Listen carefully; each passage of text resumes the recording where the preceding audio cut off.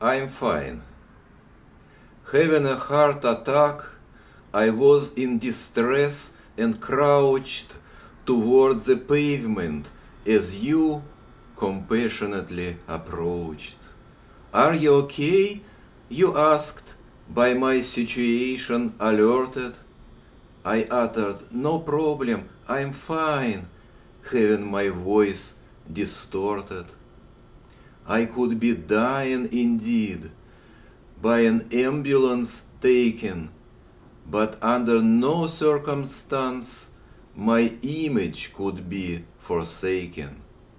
If my weakness be seen, if I become immobile, in need of a real help, you'll be the first to rob me.